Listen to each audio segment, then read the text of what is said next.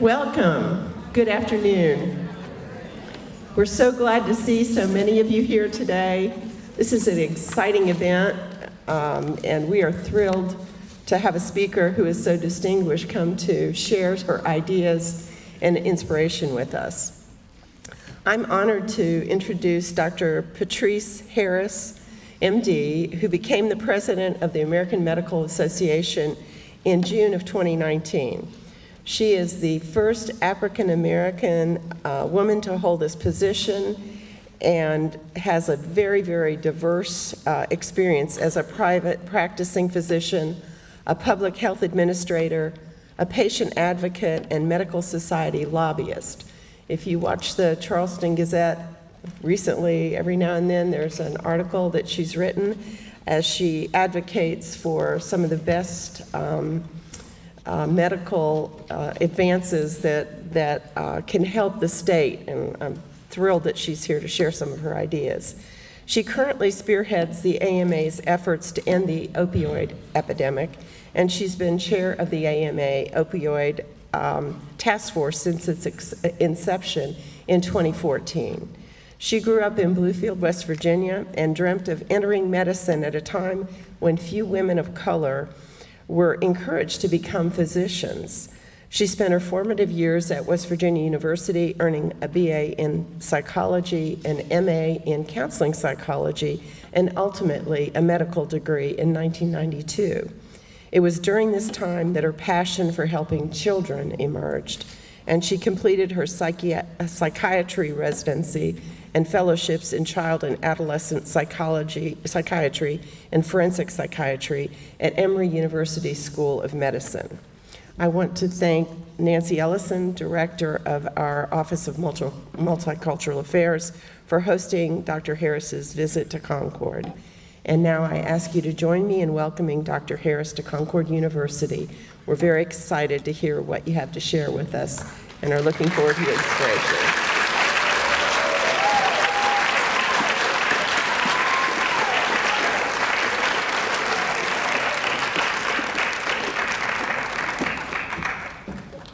How's everyone doing today?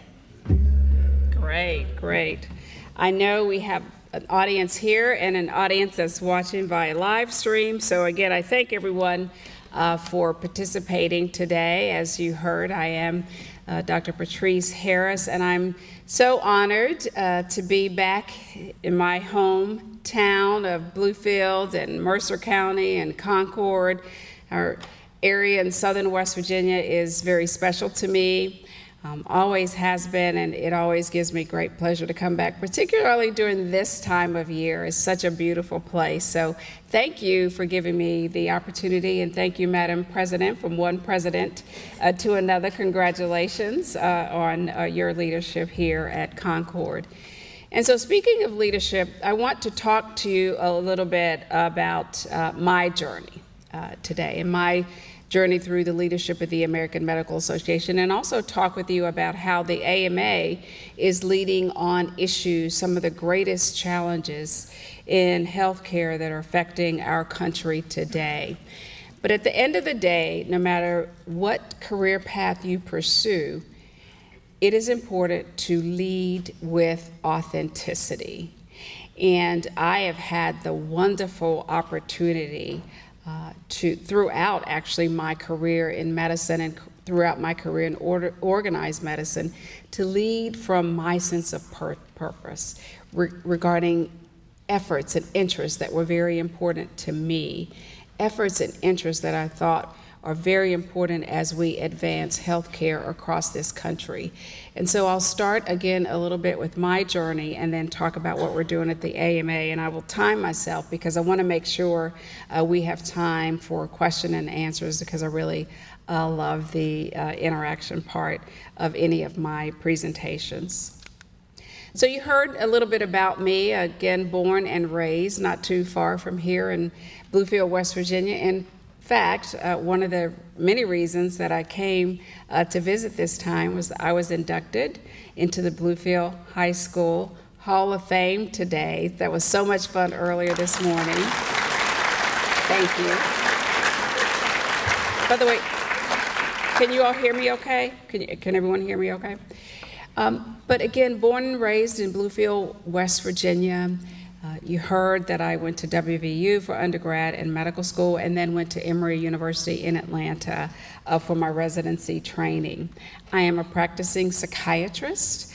I'm child and adolescent psychiatrist, but I've worked um, with those who have substance use disorder, and I also work with those who have some interaction with the criminal justice system, and that um, is what I do with my training in forensic psychiatry. Um, I have had a variety of career experiences. So, something that I recommend is do different things. I've had the traditional private practice where patients come to my office and see me. I've consulted with agencies that are working with children in the foster care system and the juvenile justice system in Atlanta. For a couple of years, I was actually a lobbyist at the Georgia General Assembly. Now, how in the world uh, did that happen? I went to the Capitol one day and I heard someone talking to his or her legislator, and yes, it is a free country and we have free speech, but they were making a claim that was really not based in evidence. And I overheard that, and that was my aha moment. And that really led to my interest in what we call organized medicine, getting involved in medical associations. Because I learned then at that moment that it was important for physicians to be involved, to be leaders. Absolutely, as physicians, we need to take care of our patients and be involved in that way. But we also need to lead and lead with authenticity in other venues because there are folks who are making decisions at state legislatures and in Congress that affect our ability to care for our patients. And so that was my aha moment. And so for several years, I was a lobbyist at the Georgia General Assembly. I also led our public health department.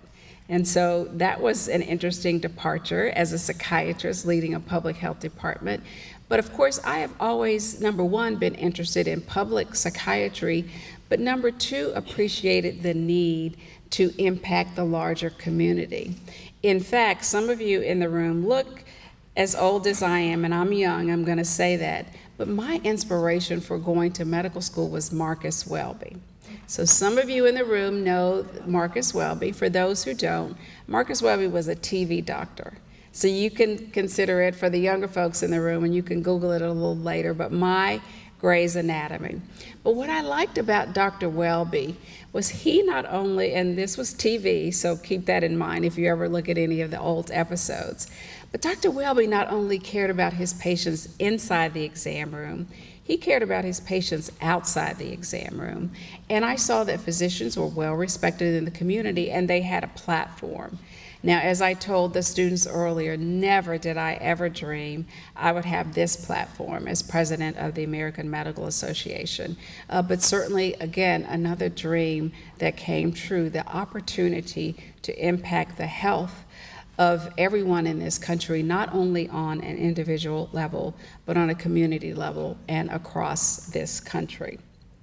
As you heard, I chair the AMA's opioid task force since its inception. I have to say, certainly that's professional to me, but also that's personal to me because I was aware, living in Atlanta since 1992, of the impact that this opioid epidemic has had on our wonderful, beautiful state.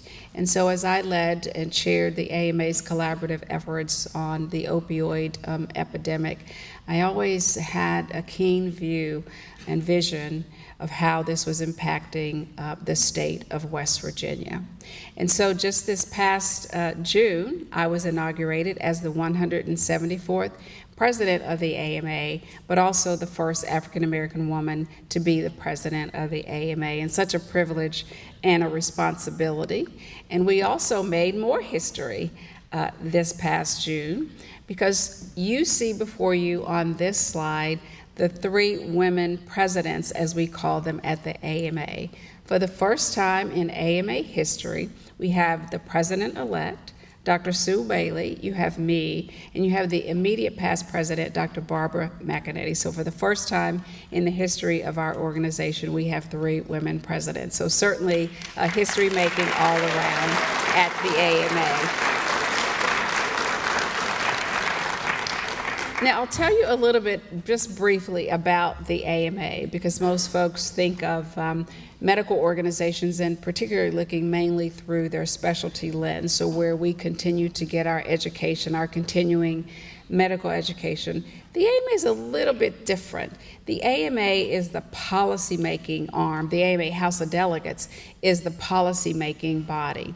And so, twice a year, representatives from every state and every specialty and some specialty sections the medical student section, the senior physician section, the women's physician section, the international medical graduate section. We come together twice a year to debate policy. So think of it as sort of the Congress of medicine.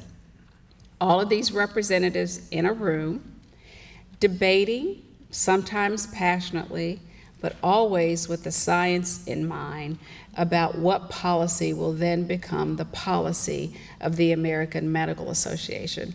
And as you see on this slide, the AMA has been a long uh, time advocate of public health and health in this country, from putting seat belts in cars uh, to working to end smoking and working hard on the issues around tobacco, uh, to looking at anti discriminatory practices regarding those who have HIV and AIDS. So the AMA has been a long term advocate and supporter for many issues uh, surrounding the health in this country, and we will continue to do so. And every year at our House of Delegates, as you can see, that's the front of the room and very democratic. Those two people that you see at the front of the room are our Speaker and Vice Speaker. So when I tell you we're very democratic and, and we function sort of like Congress, I, can, I hope this picture um, uh, shows you that. One of the issues that the AMA um, has as its core is making sure that everyone, well, not making sure, but advocating, and we hope to make sure that everyone has access to affordable, uh, meaningful health coverage. And as many of you may know, um, that is one of the many reasons we supported the Affordable Care Act. Um, we know that people without health insurance live sicker and die younger. And so, advocating that everyone has access to affordable, meaningful health coverage, and that, of course, includes coverage uh, for mental illnesses and substance use disorders, is a core uh, vision and principle of the American Medical Association. So, I think I don't need to tell you in this room there are many challenges today, and some of the issues uh, are on this screen. Despite the progress that was made with the Affordable Care Act, we still have millions in this country who lack access uh, to affordable health coverage. Uh, we know that there's a high cost of care, even for those who have insurance. Uh, we know, and we're working on this at the AMA, uh, that we need to continue to be on our journey to ensure workforce diversity. Uh, you've heard about the opioid epidemic. Uh, what's in the news today? The vaping epidemic. So there are myriad challenges, again, that we all face as a community. And I want you to know that the AMA and the physicians want to be your partner. It's going to take all of us to address some of the many challenges uh, that affect us today. But as I said in my inaugural address, and I know this goes for many of you in this room, when I was talking to an audience of physicians, physicians don't run away from problems, we run towards them. And so I know that you in this room think the same way, and that's the attitude we must have if we uh, want to address, again, these issues on the screen and the many issues impacting our country and that impact the health of everyone in this country today. So the AMA uh, wants to be your powerful ally. Now, this slide says physicians, but we want to be everyone's powerful ally as we address many of these challenges. And so the AMA conceives our work in three large buckets. The first is addressing and attacking some of the dysfunction, the administrative and regulatory burden in healthcare today. The second is around issues of chronic disease. We know that there's a human toll and a financial toll. And so we want to work with you, with all of the stakeholders, to address chronic disease. And the third issue is around innovation. And I'm very excited about innovation as we think uh, about this state and opportunities for this state. The AMA looked and said, you know, we need to make sure we prepare the next generation of physicians for 21st century healthcare. And we really haven't changed the way we educate physicians in a while. So we wanted to spur innovation in how we educate, again, physicians in this country. And we awarded some grants. I'll talk a little bit about this later. The other issue is just innovation in general. I know you see this, you see the health apps. I'm sure many of you in this room have a wearable, you have a Fitbit or one of the, the wearables that may be tracking your respirations and your, your heart rate. And we know there is just a revolution in digital technology, and the AMA wants to make sure uh, that physicians are at the forefront of that technology so that the technology adds to our ability to take care of patients and doesn't detract from our ability to take care of patients. I, I'm certain and this is an unfortunate circumstance that, uh, but I've heard complaints um, that uh, physicians are not looking at, at patients. Uh, when they come into the office. And we uh, want to take good care of our patients. We want to spend more time with our patients, uh, but we know there's that burden of electronic health records. So we are working on innovation. You know, what if? And whatever the next generation of digital health and technology and innovation is, the AMA wants to be there at the beginning of the conversation and not at the end of the conversation. Another core principle for the AMA is our commitment to health equity, and that is across uh, healthcare. Now, first of all, this is foundational for us uh, if you read the AMA's Code of Ethics, and I know that that's on the top of all of your reading lists, uh, but if you read the AMA Code of Ethics, you will see uh, that principles around non discrimination um, is, again, a foundational principle. And so we know uh, that we want to make sure uh, that everyone has access uh, to healthcare and that healthcare is meeting the needs of the diverse population that we have in this country. So, we are embarking on what I call our Health Equity 2.0 work. Of course, we have the policy. Of course, we're advocating for that policy. But we just hired at the AMA our first Chief Health Equity Officer. And what we want to do is embed the concept and the work of health equity across our organization. You know, um, we do not want, and it is, we are not going to allow um, diversity and inclusion and health equity to be a buzzword, right? To be um, sort of the word of the day or the trendy word. We again commit to embedding the concept of health equity into all of our work. Because again, as I said, we know that people without insurance live sicker and die younger. We know that sometimes people from communities of color have higher rates of illness and death. In fact, I had the wonderful opportunity to speak before Congress about a month ago, and I was speaking about maternal mortality and morbidity. Now, I've heard a lot of presentations, and West Virginia is also struggling with this issue around maternal mortality and morbidity. And so it affects everyone, but certainly we know that if you are a black woman in this country, on average, your rate or risk of dying around childbirth is three to four times higher. If you are Native American or Alaska Native, it's two to three times higher. Why is this? We must ask this question. And that's what I talked to the students earlier today and encourage them to ask questions. When you see a statistic uh, that more people are dying, uh, from one disease than another. Uh, if you live in a certain zip code, you have a longer life expectancy. We have to ask the hard questions about that data. And then, once we get the answers, we have to look for solutions and implement those solutions. So, again, the AMA is very committed uh, to this work of health equity for everyone in our nation. Now, one of the things we also have to talk about are the different determinants of health. Absolutely, you need to have access to a physician.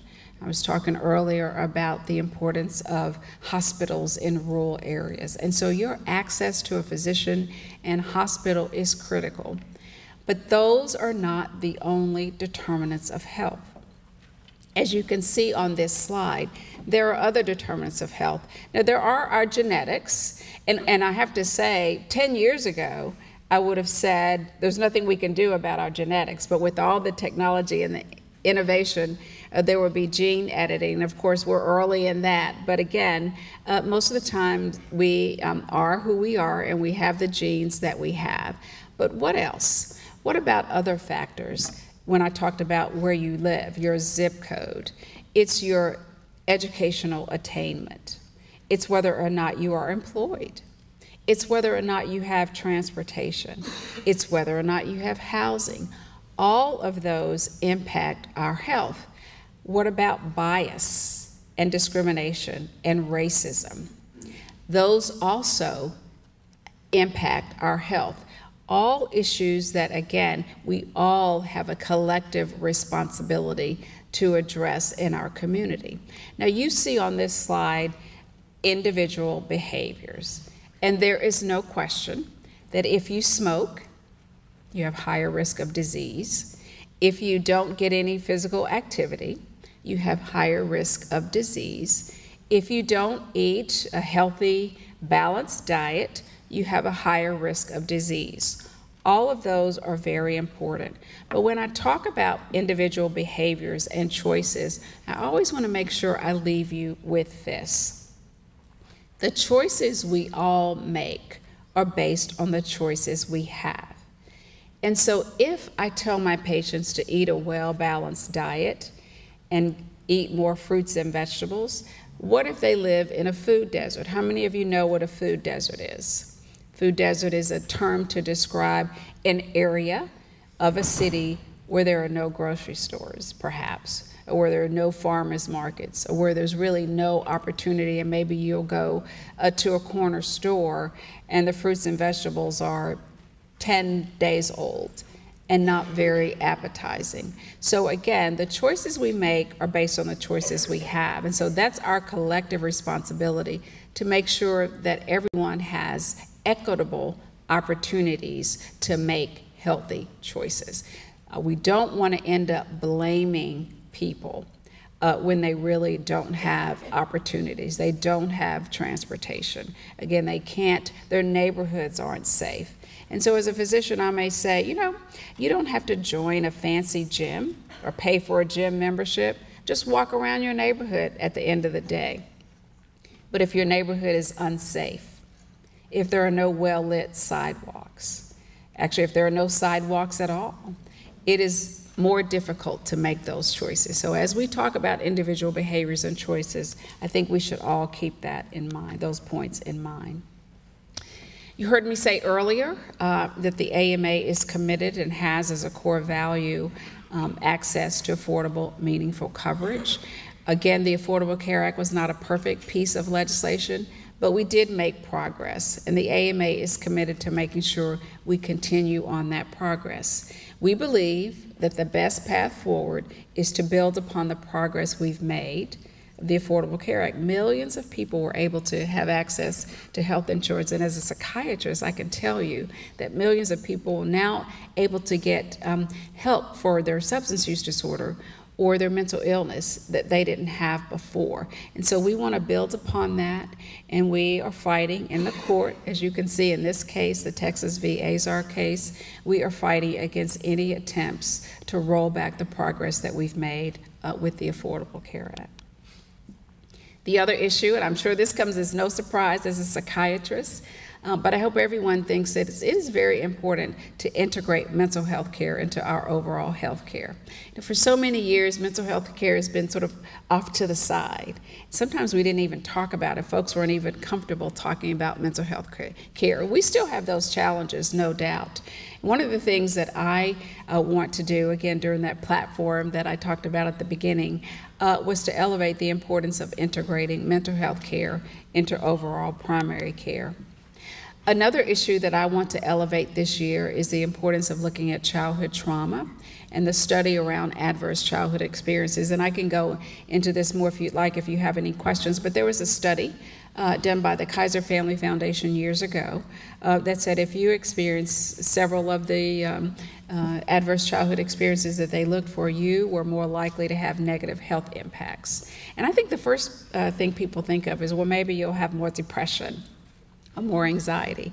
But the data showed even more cardiovascular disease and diabetes. And so I really want to elevate the importance of appreciating the impact of childhood trauma and making sure we develop systems around addressing uh, these issues. AMA has lots of policy and supporting issues around a healthy childhood, and I will tell you, and I don't know if there are any of you in the room who want to go into early childhood education, three to six, zero to six, that's critical time for brain development. And so when the brain is developing at such rapid speed, that's a critical opportunity for us uh, to develop programs, again, to give everyone uh, those opportunities to live full, healthy, productive lives. Now, you heard me talk about public health crises that we address, and I know it's in the news uh, around vaping. So, first of all, I want to say let's not forget that nicotine has negative health outcomes. That is a known in this. In this vaping, uh, you know that health officials are still trying to figure out what exactly has led uh, to the deaths, unfortunately, and the respiratory, the lung problems. But here's one thing we know.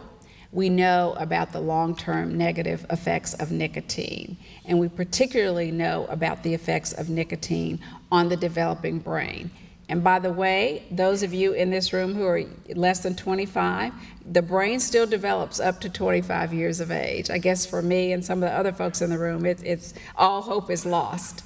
Uh, but uh, for, so I want those of you, the young folks in the room, call, your brain is still developing. Uh, so please keep that in mind. Listen, I know vaping looks cool, uh, but is so much we again know and don't know about the negative uh, long-term effects of health. And by the way, there is no evidence that um, e-cigarette use um, is uh, useful for uh, smoking cessation, but we do have evidence on certain uh, products that have already been approved by the FDA uh, to help people uh, stop smoking. So we don't want folks to smoke. Um, long-term health effects of smoking, uh, and there are again FDA-approved products, but this is a huge issue, and that's why we're very concerned and have asked to ban flavored um, e-cigarettes um, because we really worry uh, about what we know about the negative effects of vaping. We know about chronic disease, and again, another issue uh, that I'm sure you all know well here in West Virginia with, with high blood pressure and diabetes. And it's a human toll, uh, but it's also a financial toll. And so the AMA uh, developed a partnership with the American Diabetes Association, and we thought, what if, let's go one step before diabetes, right?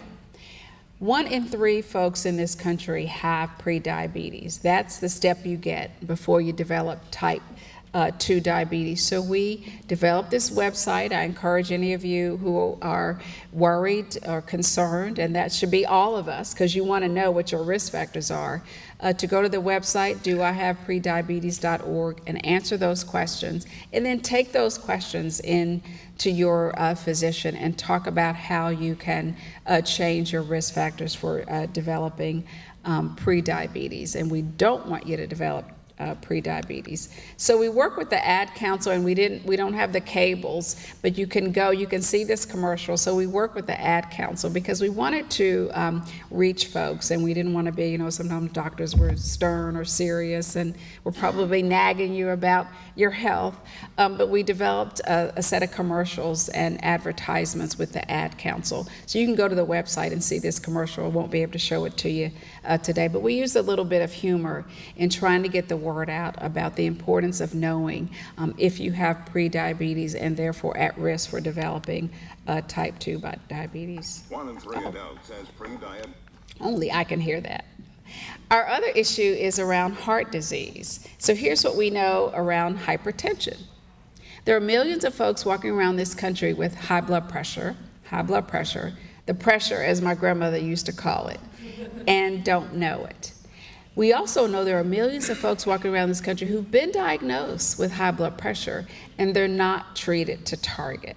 And you know the risk of untreated high blood pressure, stroke, loss of vision and eyesight, loss of limbs. And so we want to make sure, and that's with diabetes, and so we want to make sure um, that we get everyone to know, first of all, if they have high blood pressure, we want it measured accurately. And then if you have high blood pressure, we want to get it treated to target. So on this project, we are working with the American Heart Association to highlight um, heart disease again and diabetes. So another website to go to, targetbp.org, if you want further information. Overdoses by opioid are now the leading cause of death for folks under 50. And this opioid epidemic, I don't have to tell you, has impacted actually everyone across this country, but again, particularly has hit um, West Virginia hard. We know the opioid epidemic has evolved. It's no longer, the deaths are no longer mainly due to prescription drugs. The deaths now are due to illicitly and let me and hear me when I say this, illicitly manufactured fentanyl. So some of you may be saying, what is fentanyl? So, so here's the thing, all of these are in the class of opioids, prescriptions, fentanyl, heroin. Um, fentanyl is FDA-approved drug used to treat severe pain. But now we have folks who are manufacturing fentanyl, which is much more potent uh, than heroin and maybe some of the pain pills that you may be familiar with, oxycodone and so forth and so on. And there's also another drug that's used for large animals, elephants and horses. But unfortunately, those two products, those two drugs, are getting into the supply. Folks are even making them look like pills. So folks may think they're taking a, a pain pill. This is, this is an illicitly manufactured pill and then they're dying. And that's because these pills uh, may contain, and you might not know, either fentanyl or carfentanil. And so we know now uh, that this epidemic has evolved, and it's critical for all of us who are working on this epidemic uh, to catch up uh, with the current, um, what's going on currently with the epidemic, and develop solutions. And so the AMA task force that you heard I chair, and another website for you to go get more information is at the bottom of this screen.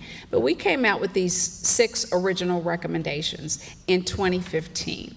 We wanted to demonstrate physician leadership on this issue, leading with authenticity.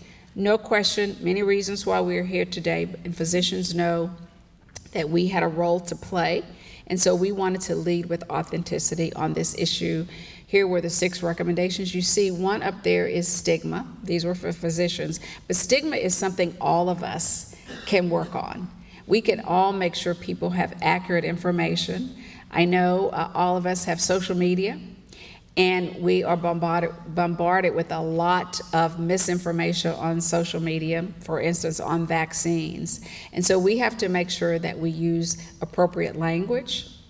I don't use the term, we should not use the term addicts it's somebody that has a, a, person that has a substance use disorder.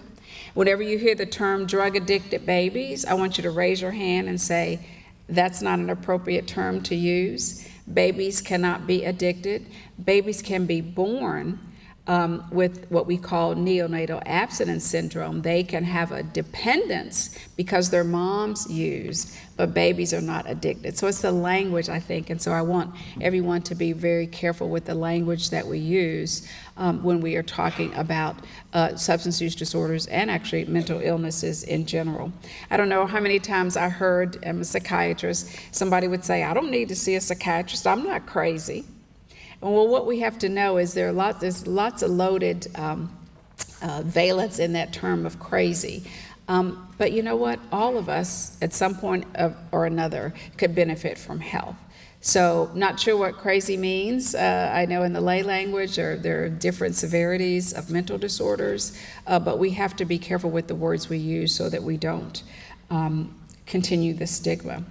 Uh, many of you know about naloxone. I was talking with the students about the importance of Good Samaritan laws, and I know every state has a Good Samaritan law.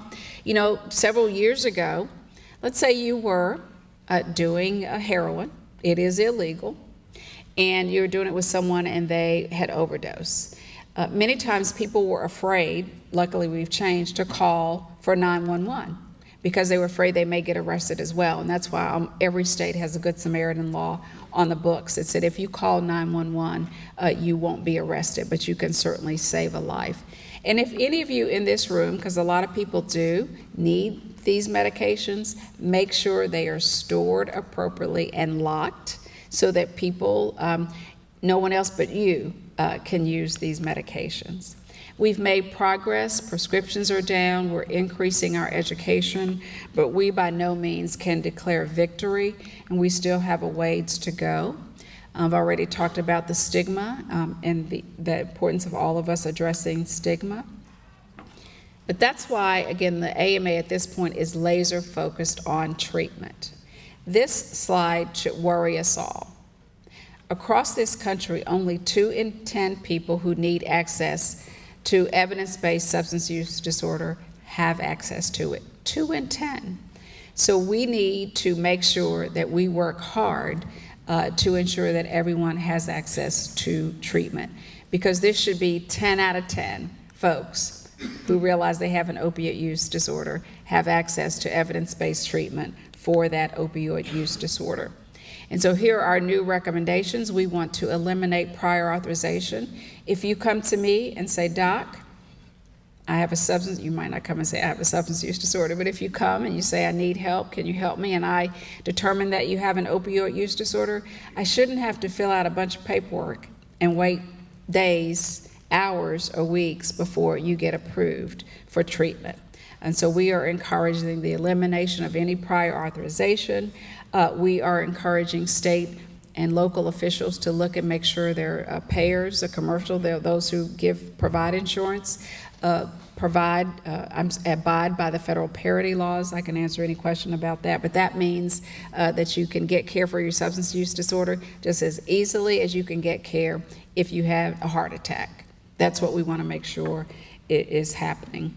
Uh, we want to make sure uh, that um, states make sure that there's providers in the state uh, that provides evidence-based treatment. It's not enough for you to say, I think I'm providing evidence-based treatment. You should follow the science. And if you hold yourself out to be a provider of substance use uh, disorder treatment, you should really be providing treatment that's evidence-based and the science backs it up. Just two weeks ago, we um, rolled out our national opioid roadmap, and it had many of the recommendations that I've already talked about. Uh, we know the four states you've seen on the slide have done the, our pilot work in this area, and so we are encouraging all states to get a hold of our roadmap and move forward on that. You heard me talk a little about the future of medicine. Medicine is becoming more diverse, younger.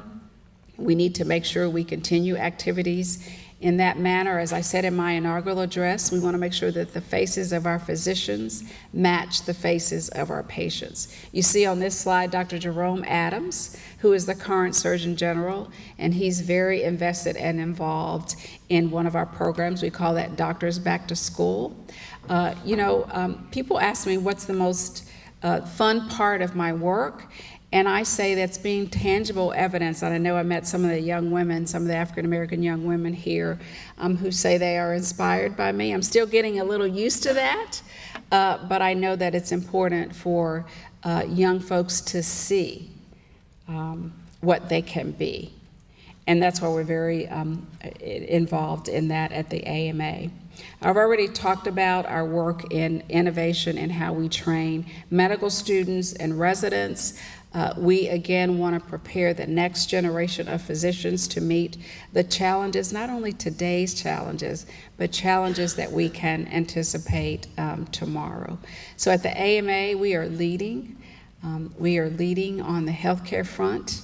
Um, I happen to be in leadership, but I'm one of many in leadership at the AMA who wants to lead by example, lead with our policy, and lead with authenticity.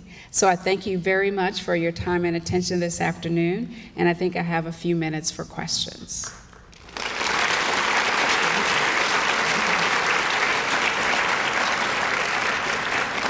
And if there's a question on any slide, I'm happy to go back to a slide if you want to see it or you, you uh, had a question about any particular area. And there's going to be, since this is being live streamed, please wait for the mic uh, before you ask your question. And tell me a little bit who you, you don't have to say your first and last name, but your first name and if you're a student or. Yeah, so my name's Jacob. I'm a student here at Concord. I'm a senior uh, uh, in political science and history. And one of the things that I um, do voluntarily is I do surveys with people that are in active addiction, um, going through a lot of really terrible things. Um, and what I do is I take the results of these surveys and go to stakeholders, um, people that are involved in treatment centers in this county. And what they tell me is that they have the hardest time receiving funding from national organizations um, for example, there was a study released by NIDA that in 2017 in McDowell County there was zero overdoses. Um, when that, to me, is absolutely false, and we all know it. And in Mercer County, they said there was only six. And so what is the AMA doing to make sure that there is legitimacy in the research that goes into who is receiving this funding and what we can do to make sure that rural areas that are not represented at the national level as much uh, gets funding that can help so many of the people that need it. So I want to say something about the data, and you made a good point. We cannot solve a problem if we can't identify the problem, and we have to have accurate data. And I will tell you, you know, the CDC, Centers for Disease Control and Prevention, are responsible for gathering that data. Um, but the states have to have that infrastructure too, and the public health departments um, that. Uh, people participate in those surveys, and then that data gets up to the CDC. Uh, so we need to make sure um, that that data is accurate. I certainly agree with that, and I will take what you just said.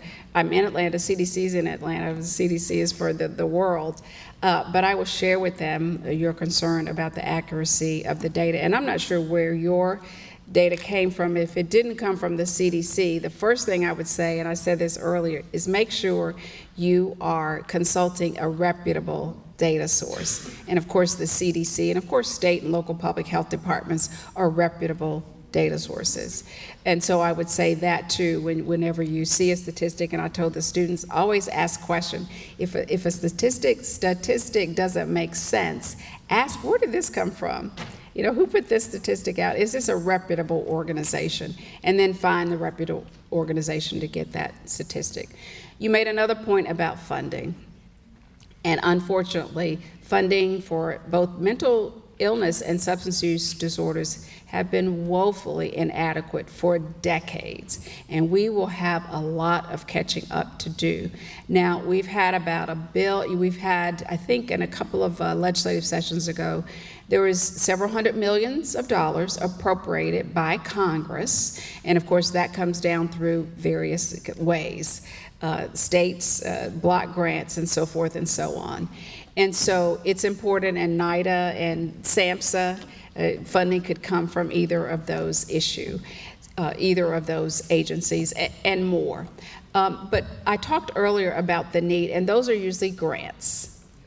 And those are usually time limited. And so, what we at the AMA always advocate for is a sustainable funding infrastructure. Grants end and we need sustainable funding. And of course, that could occur at the federal level, but also the state level that's going to be sustainable for the long term. Because only West Virginia knows how best. You know, we, we can come up with policy at the AMA, and we do, and we can come up with laws, but local communities know best how to address any health issues, not just the, the opioid uh, epidemic. And that's where it gets to about the accountability of the funding. Um, once the funding comes down, and different states do it different ways, but it's important, again, ask questions. How much money did Georgia get? How much money did West Virginia get? What are we doing with the money? Just be engaged. It's not hostile, it's not adversarial. It's just, hey, we want to know. Um, because I'm you're on the front lines and, and delivering that care. That's sustainable funding, and so the AMA, uh, we advocate for, and you can see it as, as on our state roadmap, we certainly advocate for sustainable uh, sources of funding to address this issue. Now, that's the other one of the many reasons, as I said earlier, to make sure everyone has access to high quality, affordable coverage. Uh, because if you have access to coverage and your payer is following the parity laws, then you have better access to treatment.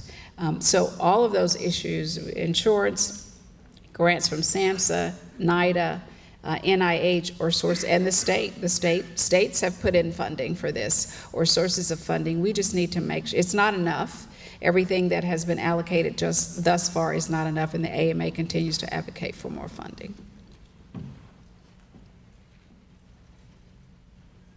Other questions? Doesn't have to be necessarily if anything on the screen. If there's an area you want to ask a question in. Yes. How much money does the AMA spend for lobbyists in Congress to get funding? Is that, and what, what percentage of that is, of that expense is not going to where it needs to be for the, the ultimate use? I don't have the answer to the, the, the question was, for those of you who didn't hear it, how much does the AMA spend on lobbying? And uh, the AMA is a 501c6 organization, so we follow all the nonprofit rules about the percentage of our budget that goes to lobbying. And as you heard from when I started out, advocacy is important. Uh, the and, and it's a it's a partnership because the AMA advocates in Congress, but we also need, and I told the students earlier today, everyone in this room, and this is my personal opinion, based on my own experience in leading with authenticity and what I learned during my years of advocacy at the state capitol in Georgia, everyone in this room, again, this is my personal uh, recommendation, should know who your legislators are. Because if the AMA is, is advocating and lobbying for increased funding, I need to know that the people in West Virginia, because we lobby for increased funding on a national level, it's great if we have a partnership that your, your elected officials from West Virginia know that you also want uh, more funding uh, for whatever you want. I'm not telling you what to advocate for. You can choose. We're talking we're talking about the opioids. And that's how that partnership works. So we do we have a DC office. Our headquarters are in Chicago. We have a DC office because as you heard me say at the very beginning, so many decisions that affect physicians affect health care and our ability to health care are made in state legislatures and at the congressional level. And we have to be there to give the information we give the, the data. We say two in 10, that slide. We, we tell two in 10 people um, have access to treatment. So this means, that's, that's a data point. This means we need more funding. Um, we don't have enough, uh, students asked me earlier about the physician shortage. We don't have enough graduate medication residency slots. So we have that data and we advocate for more funding for that. So, I, and I just myriad issues that we advocate on vaping. I mean, uh, vaccinations. We advocate on so uh, many issues because advocacy is important all throughout uh, the system.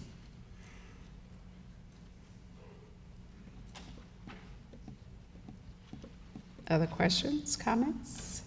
Yes.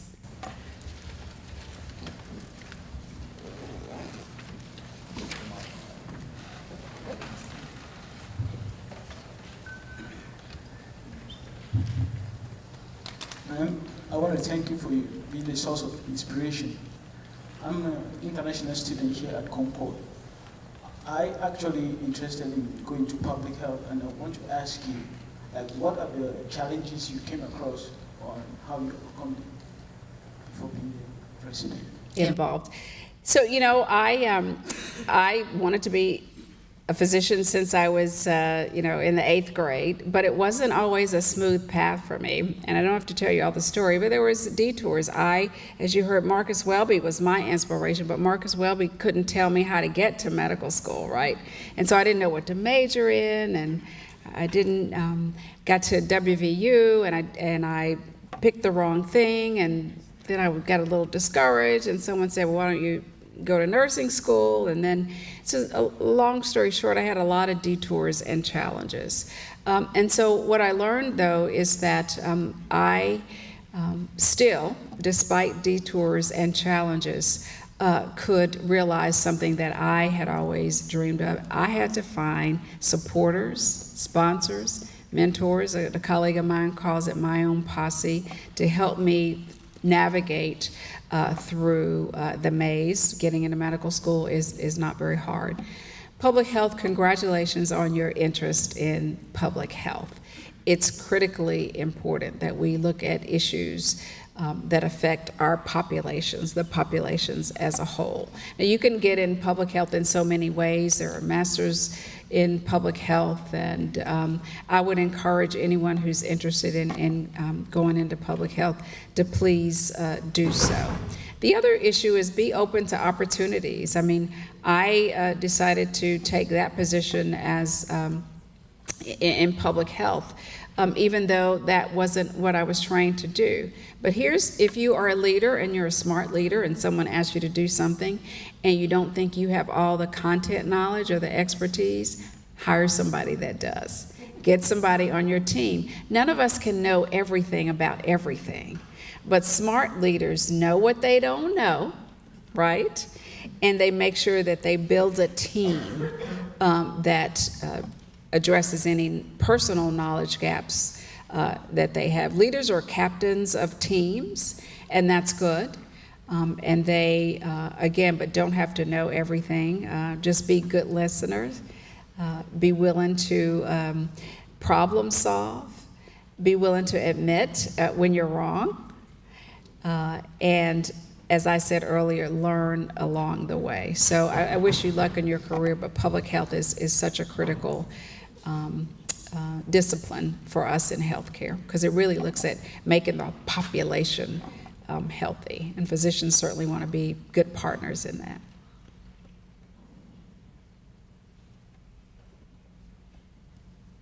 Yes. He's coming.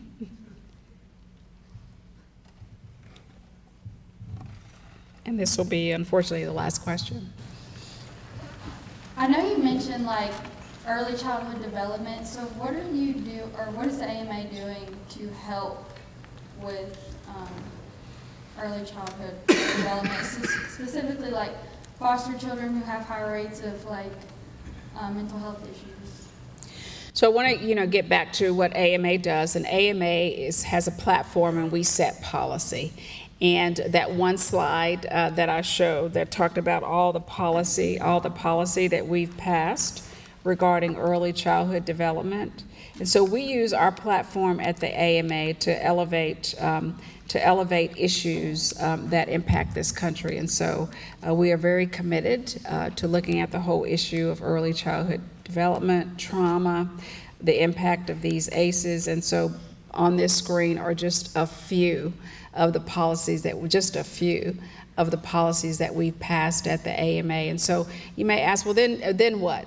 Once the AMA develops policy, well, then, and, and colleague over here talked about advocacy, then you take that policy. So you can go on our policy. You may say, what does the AMA think about any number of topics related to health care? And go on our website and find that policy. And often folks at the state level use our policy. Um, they say, you know what, the AMA has looked into this issue and they think this is great policy. And then you can use that um, as you advocate either individually or uh, collectively as an organization, any organization uh, with your legislators. And then, as I said, what I want to do this year and am doing and have this platform uh, to do again, because the three strategic priorities um, that I talked about at the beginning are the AMA's three large bucket priorities. But each president at the AMA doesn't come in, though, and change strategic priorities. I, I, anyone, any organization that changes strategic priorities every year will not be a very good, strong organization. You have to have a set of priorities and work on those priorities and be commit, committed to those priorities. Those are three big buckets. But each president comes to the AMA for one year. We're, we, our presidential term is one year. And we bring our own unique lens and vision, which is as a child psychiatrist, that's why I'm elevating the need for mental health care. And AMA has a lot of policy on that, integrated into overall health care. Making sure we have a diverse workforce uh, where the physicians of our, uh, the faces of our physicians match the faces of our patients. Make sure we're looking at health equity and the social determinants of health and that whole issue around childhood trauma. And then personally, of course, I do a lot of work in Georgia, um, working with various organizations. Um, and I see the, the patients that I see in my practice are mostly in the foster care system. So we are at time. I thank you so much for being a wonderful audience and giving me the opportunity to come home uh, to Southern West Virginia, and I wish you best in all of your endeavors.